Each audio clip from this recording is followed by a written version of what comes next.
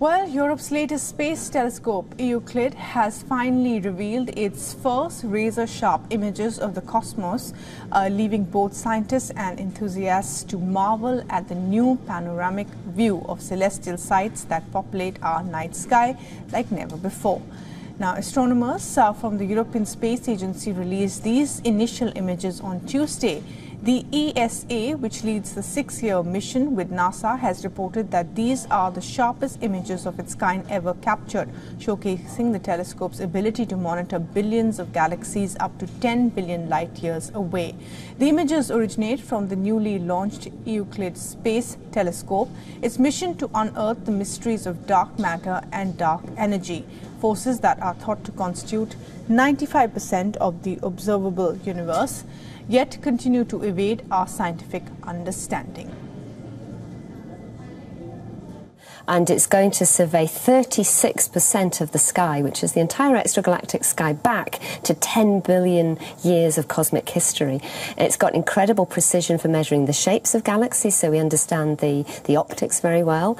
Um, we'll also be measuring where they are in 3D, so we'll actually make the largest 3D catalogue of the universe and images span four quadrants of our cosmic neighborhood, including a thousand galaxies in the uh, Perseus cluster, merely 240 million light years away.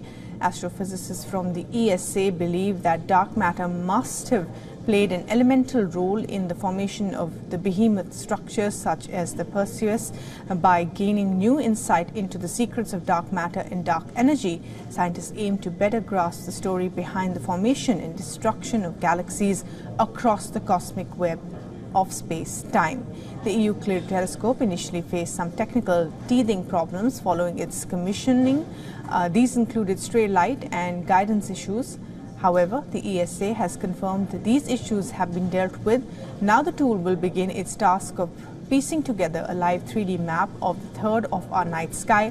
It will observe the night sky from tiny variations that might be attributed to the dark inhabitants pulling strings in our universe. Although the mission is designed with a six-year span, the ESA is hoping the telescope uh, has another six months of propellant to keep it in solar orbit.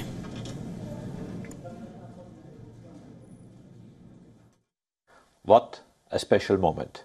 A mission that will reveal the invisible 95% of the universe, which is truly incredible, and a milestone for ESA's world-class space science program.